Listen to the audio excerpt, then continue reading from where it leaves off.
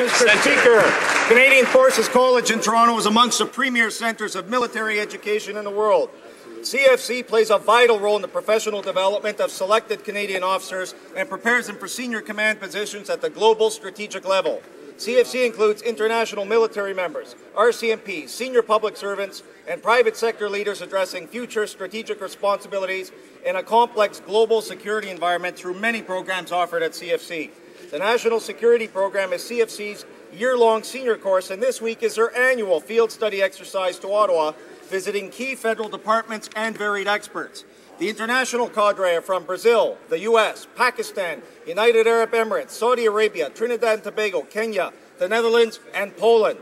As a former graduate and staff member at CFC, I welcome the Canadian Forces College National Security Studies Program to Ottawa on their annual field studies exercise. Thank you, Mr. Speaker.